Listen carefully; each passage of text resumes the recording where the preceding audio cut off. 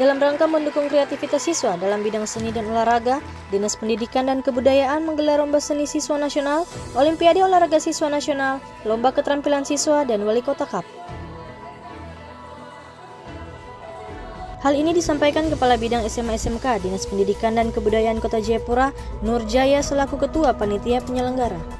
Kegiatan ajang talenta, bakat, dan kreativitas menjadi wahana aktualisasi untuk prestasi didik yang juga menjadi momentum untuk menumbuh kendali anak-anak berbakat di bidang seni, olahraga, vokasi, serta meningkatkan kemampuan literasi dan numerasi.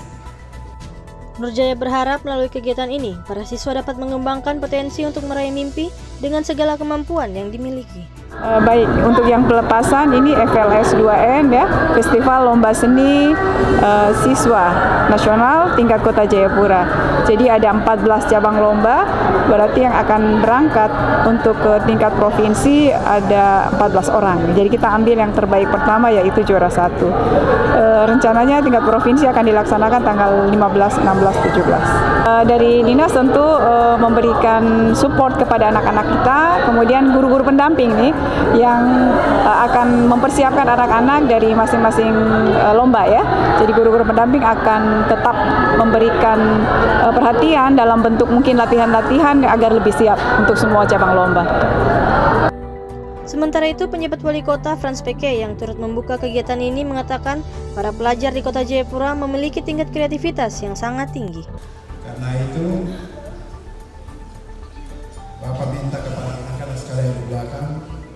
bijaklah dalam menggunakan menganalisa, kemudian juga menerima semua itu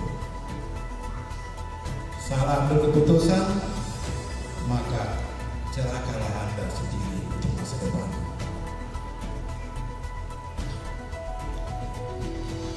Dengarkan nasihat orang tua, karena orang tua tidak mungkin mencelakakan anaknya,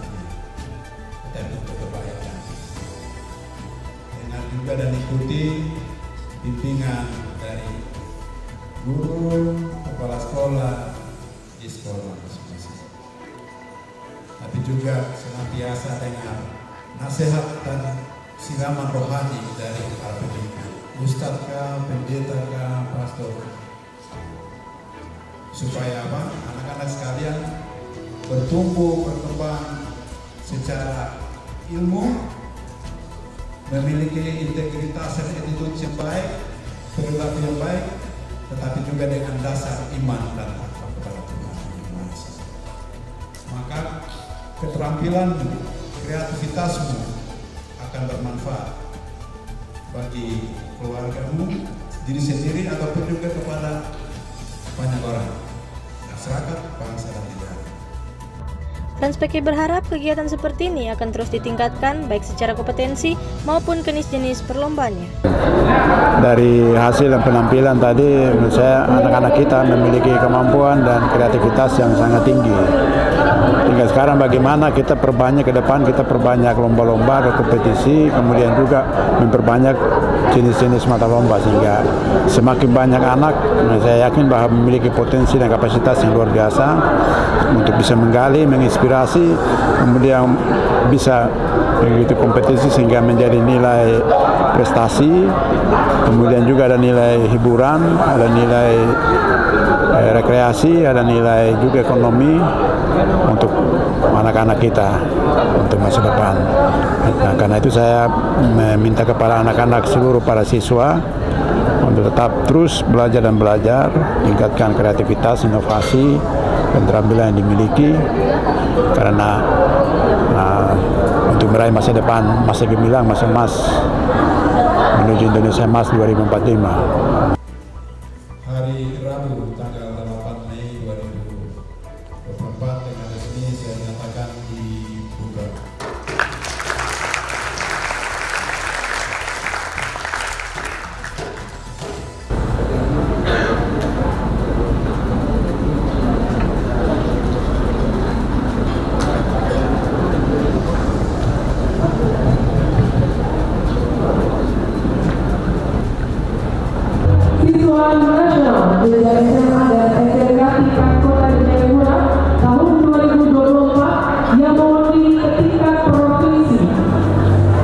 Dari Kota Jayapura, Papua, Tim Liputan Jayapura Pos mengabarkan.